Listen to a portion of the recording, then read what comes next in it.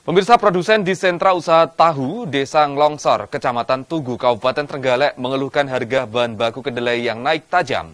Selain harga bahan baku yang tinggi, harga minyak goreng yang turut melambung membuat usahanya kelabakan. Seperti yang dirasakan oleh Sumarno, salah satu produsen tahu di Desa Nglongsor, Kecamatan Tugu, Kabupaten Trenggalek. Kenaikan harga bahan baku kedelai impor serta minyak goreng membuat dirinya dengan para produsen harus memutar otak. Dampak usahanya kini mengalami defisit hampir 75 persen akibat kenaikan harga bahan produksi. Sumarno menjelaskan harga minyak goreng sudah naik sejak beberapa bulan lalu. Ia mengaku kesulitan untuk mendapat minyak goreng murah yang disediakan pemerintah. Sementara harga kedelai naik bertahap sejak sekitar empat bulan terakhir. Sebelumnya ia mendapat harga kedelai Rp6.500 per kilogram, namun sekarang dirinya mendapat harga Rp10.500 per kilogram.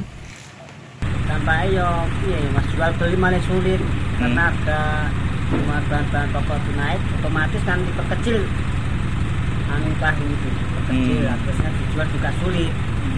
Dan habisnya itu berkurang dulu 40 papan sekarang tinggal 10 atau bahkan cuma 15 papan Papan. Papan. Papan ya. Pengurangan papan itu kan ukurannya 60. Hmm. Nah untuk kedelainya sendiri per kilo itu berapa sih? Nah dulu harga kedelai itu paling mahal itu tujuh ribu.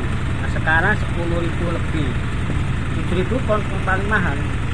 Awalnya tiga tiga setengah, empat ribu, enam ribu, tujuh ribu pun paling mahal. Nah sekarang kok malah sepuluh ribu lebih. Sepuluh ribu lebih itu mulai kapan, Pak No? Sudah hampir dua bulan dua bulan ini ya, ya.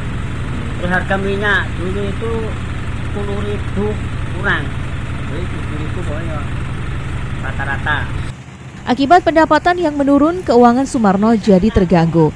Cicilan hutang yang dipakai untuk mengembangkan usaha juga tersendat.